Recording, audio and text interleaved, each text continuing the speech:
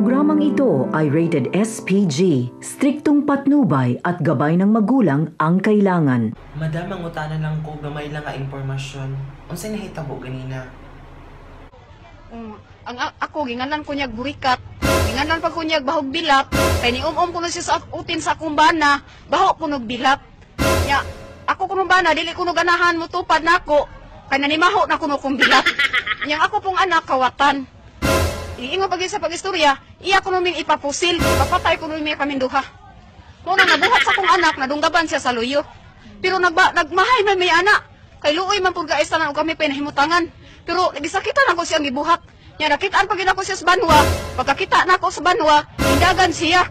Yung wapa siya daotan binuhatan sa kumbana dili siya mudagan. O nya niingon pag siya pagsulti, pagtsupa ko niya sa utin sa kumbana, baho kunong duga.